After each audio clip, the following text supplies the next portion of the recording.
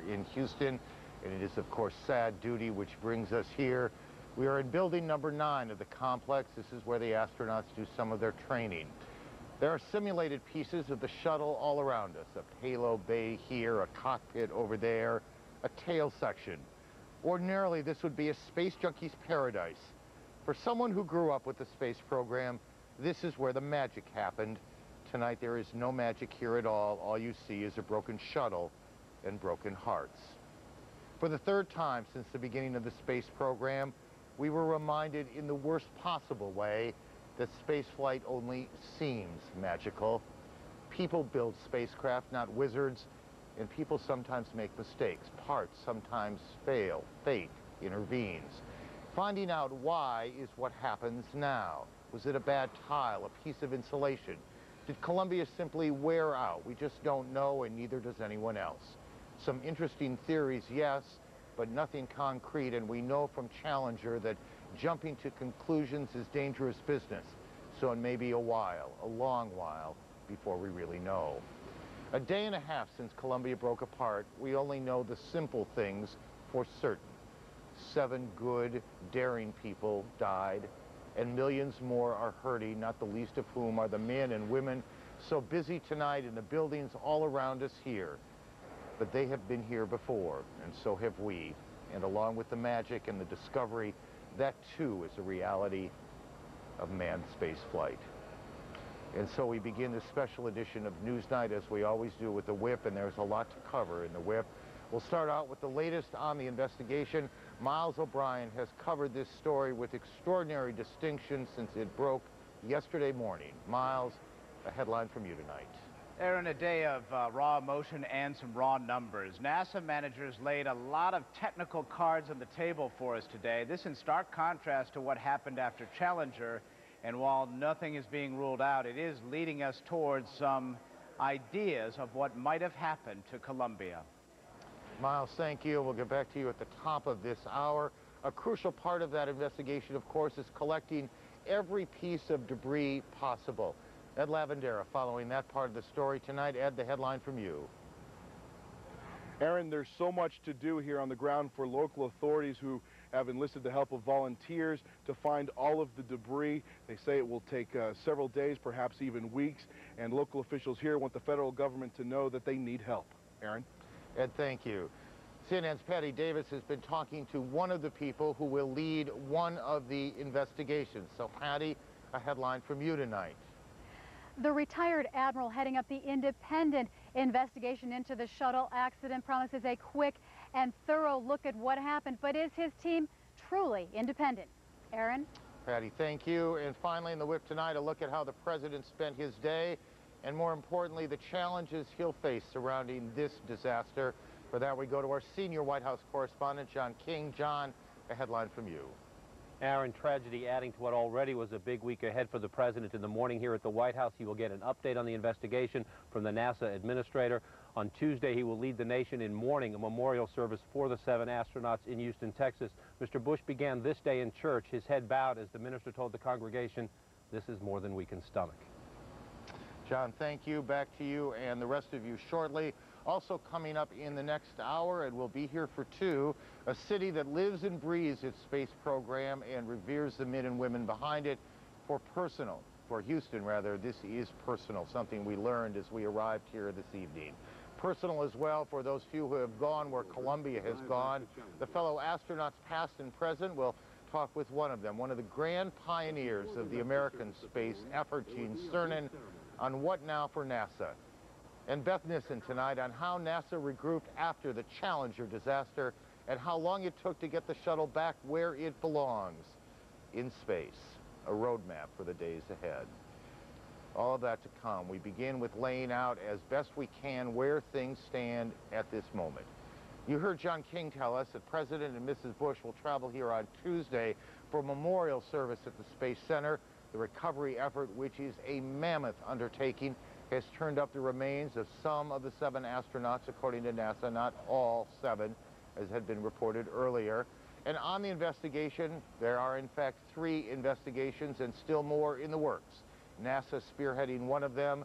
another being led by an independent panel drawn from the Transportation Department, other government agencies, and the armed services, and a third investigation being conducted under the auspices of, of the Congress.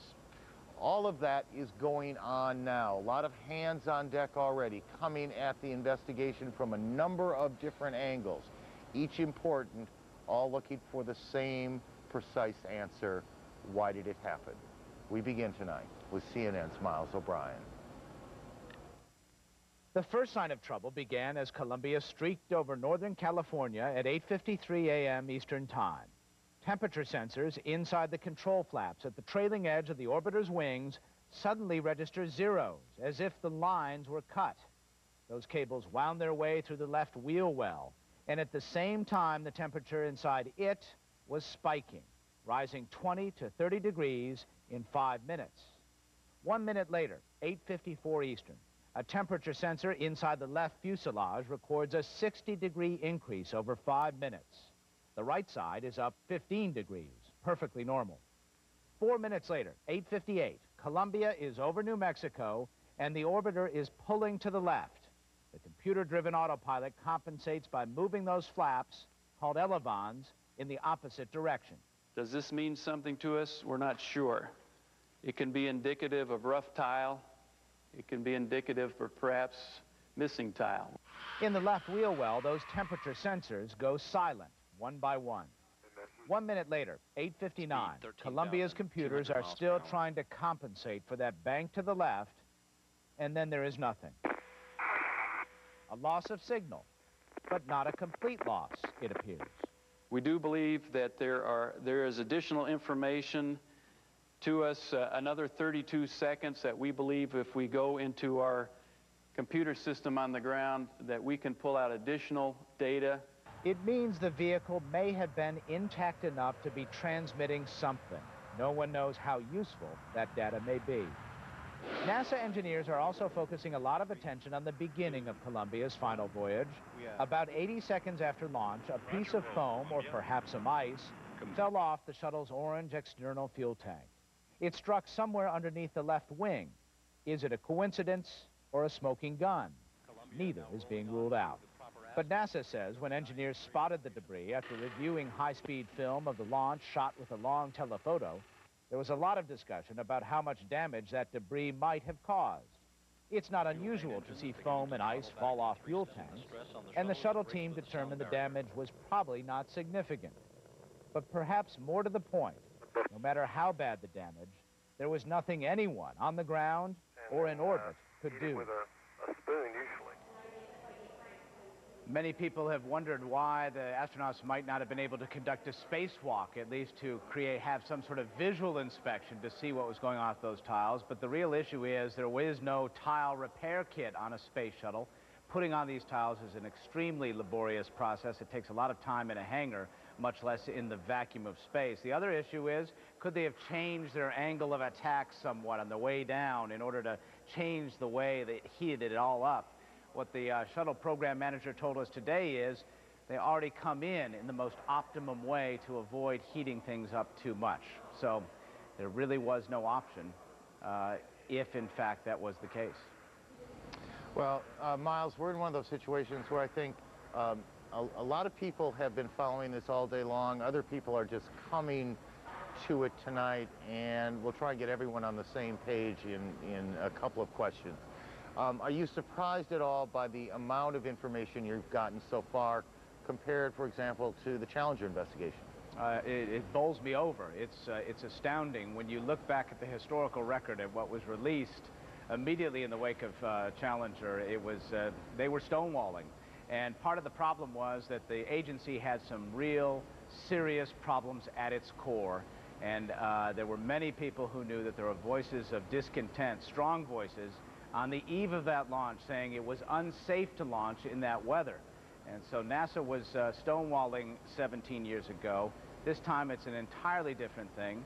Uh, it's almost as if we are um, going along for the ride, if you will, as this investigation unfolds. It's, it's quite refreshing. And is it possible, if it's, well, let me see if it's possible to answer the question. Is this investigation more or less complex, more or less difficult then figuring out what happened to the Challenger. The Challenger was grounded for, or the shuttle program was grounded for, for two years. Yes, uh, and, and just talking about that time span for just a second, uh, when it was finally determined what happened, it turned out to be those O-rings, those uh, connecting O-rings inside the solid rocket boosters which line the outside of the external tank. When it was finally decided that was the problem, there was an inherent design flaw there, and so they had to redesign those solid rocket boosters, and that accounts for much of the time that was involved between Challenger and the return to flight nearly uh, three years later. So uh, that is one issue. Now, as far as the whole issue of complexity, uh, it's, it's almost impossible for uh, me to assess which would be more complex. Uh, in each case, you had a vehicle with a million parts. Uh, it hasn't changed over 17 years that much. And when you're talking about something with a million parts, you're talking about an incredibly complicated task trying to figure out what went wrong.